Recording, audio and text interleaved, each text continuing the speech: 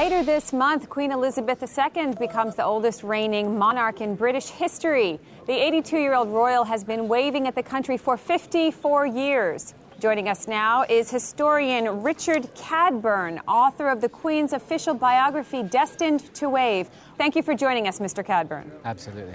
Sir, can you explain why this is such an important moment for the British people? Oh, well, Queen Elizabeth is tremendously important. I mean, people such as myself have grown up watching her waggle her hand back and forth.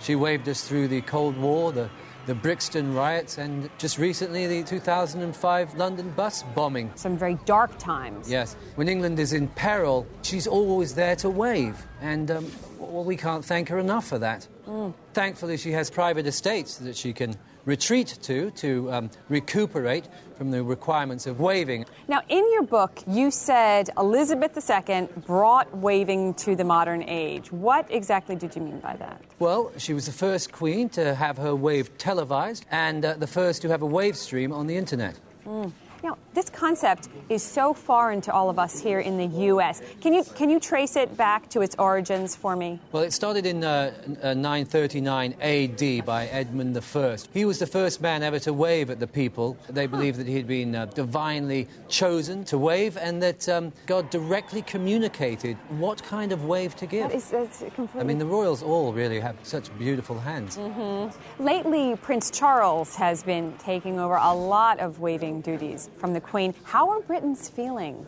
about that? Well, it's no secret they're not too thrilled about it.